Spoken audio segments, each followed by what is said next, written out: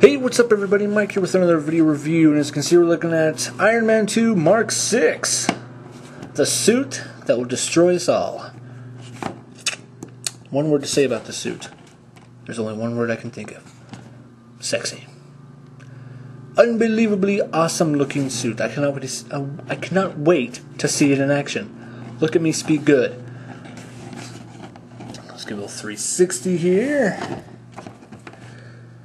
So, uh, comparing it to the Mark V, different design and color, the uh, silver to the gold.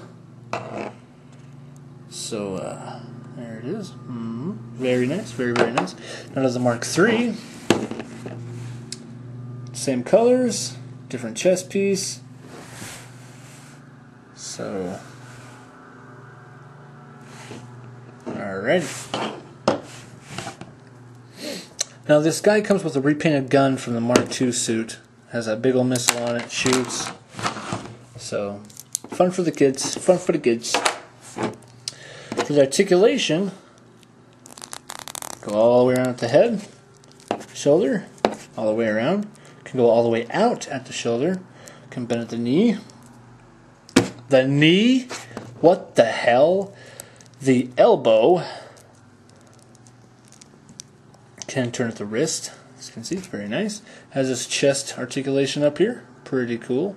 Pretty nice. Pretty awesome. Alright, I'm done. Um, go out at the uh, leg. You just rotate it forward to get the kick in action. Like, wow. And you just kind of bring it back down just like that. Bend at the knee at two places. Um, can bend at the ankle and turn at the ankle. So very nice. Very, very nice, yes. So, the Mark 6 suit. Can't wait to see it in action. It looks beautiful. It looks great. Just looks fantastic. You know what I'm saying? Let's get the Mark 3 and 5 in here. There we go. There we go. It's a family of Iron Men. It's a family of Iron Men. They just want to be loved and love one another. Collect them all, you guys. These are really cool figures. I enjoy them a lot. Have a lot of them. So, uh, and they're small they don't take up a lot of space. And they look good on your shelves. Except for this guy right here. He's big, he's bulky, he's top heavy. You can't even see him. Look how much bigger he is. He's like, I'm daddy. Do your chores, kids. And he's tipping over. Stay, repulsor dude. Anyway.